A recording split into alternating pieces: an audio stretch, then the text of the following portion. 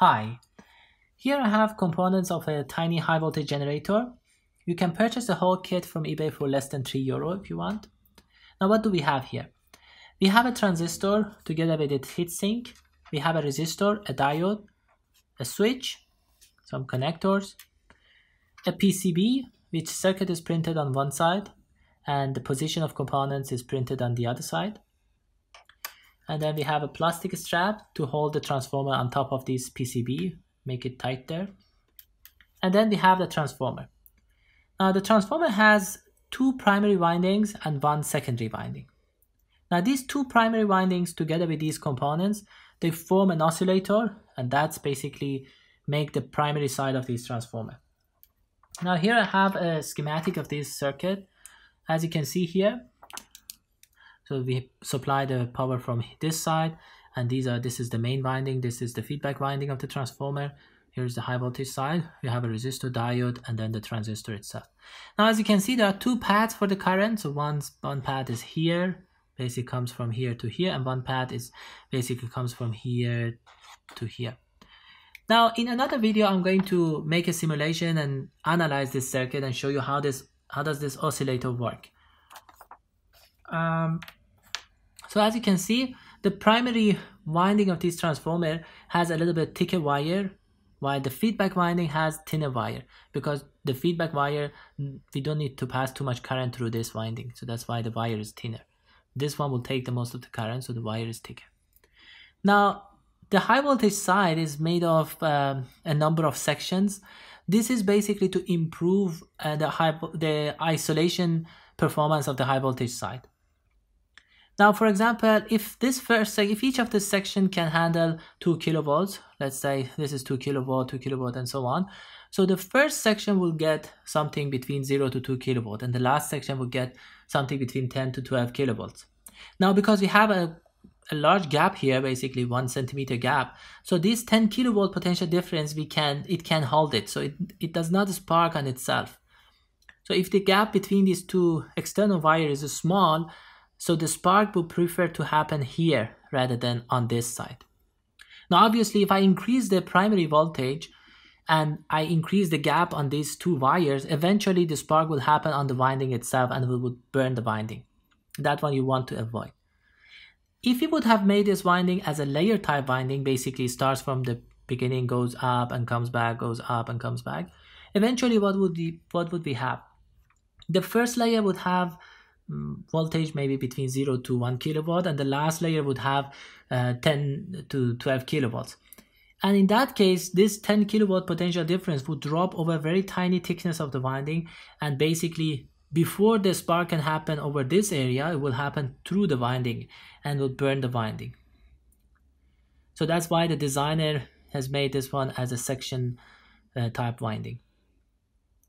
Now what I'm going to do I'm going to assemble this circuit and then we will see whether it works or not whether it produces some spark at the at this external terminal and then I'm going to measure the primary voltage of this transformer and show you the, the waveform of the primary side. Okay, so now I'm going to assemble these components. All these components are very straightforward to connect. Um, the only part that might be confusing is about transformer. So first thing you have to notice is to remove the enamel uh, from these uh, wires. That is what we have to do. And the second thing is that of course as I explained the primary has um, two windings.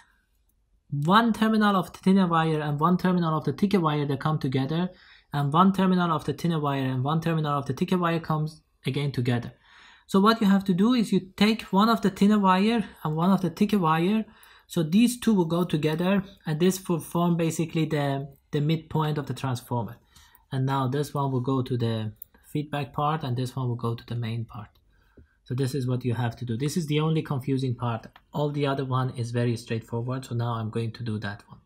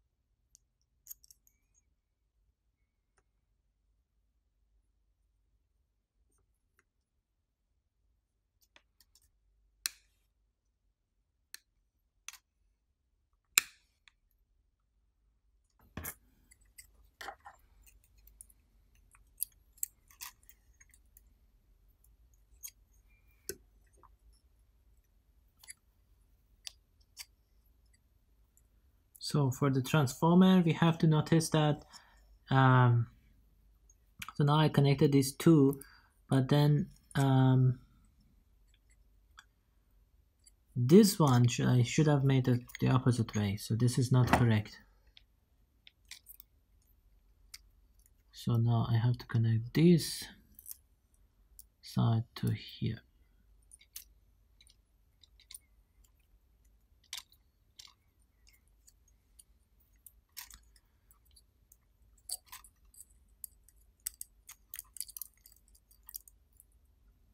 For the transformer, you have to notice that the thinner wire, the one that is left, it has to be connected to this terminal, which is connected to the resistor from this side.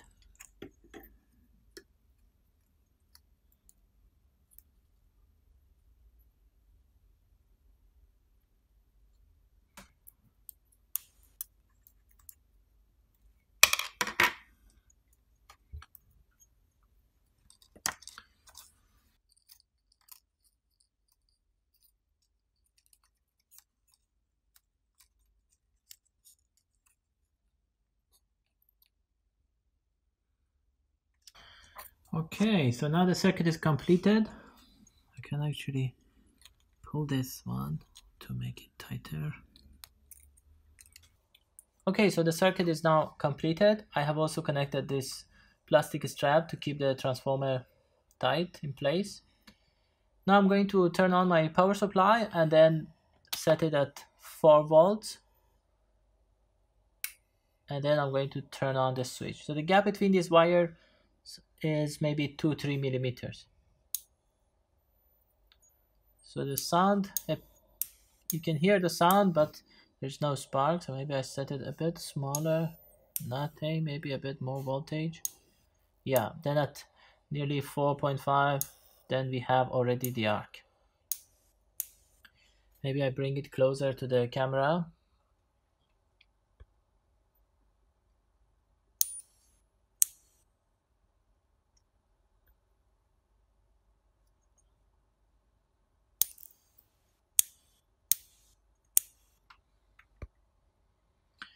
So we can see that, okay, I now keep this switch on. Let me I turn on this switch and then gradually increase the voltage.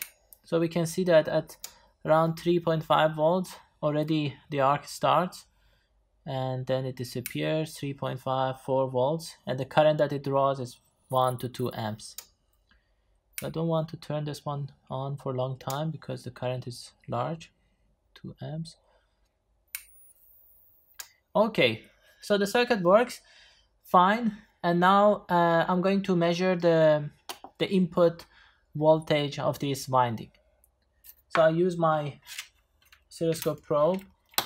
Basically I connect one side here and one side here. I set the probe at 10x and we can see what is the waveform of the voltage here.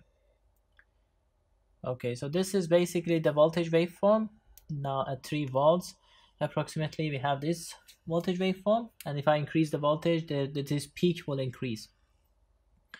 Now as you can see this scale is now 10 volts. So by approximately 3.4 volts gives a, gives me a peak of 34 volts. So there is a increase of 10 times. So when I explain this circuit to you we can see that if I apply 3 volts in the from the power supply the voltage on the primary side of transformer will be already 30 volts so the peak value will be 30 volts. Now if here we have let's say 10 kilovolts then the turn ratio of this transformer is something maybe to 300 2 to 300 it's not that we directly convert 3 volts to 10 kilovolts. In that case the turn ratio had to be um, 3000 but that is not the case. So this turn ratio is probably only 2 to 300 maybe I will do another video to show you how to measure turn ratio and then we do it for this transformer. Okay so now if I increase the voltage a bit such that the arc forms so let me okay so now we have the arc. Of course there is a bit of disturbance but then actually the the voltage would drop also a little bit but not much. And you can notice that the time scale here is 20 microseconds and I have two and a half uh, time scale. So basically the, the gap between the, the pulses is approximately 50 microsecond. And we, we can see that the frequency is roughly 20 kilohertz. Now this particular waveform is due to the nature of this oscill oscillator. So when I do the simulation in the next video, I will show you exactly why this type of waveform happens in this circuit. Okay, so that's it. Bye.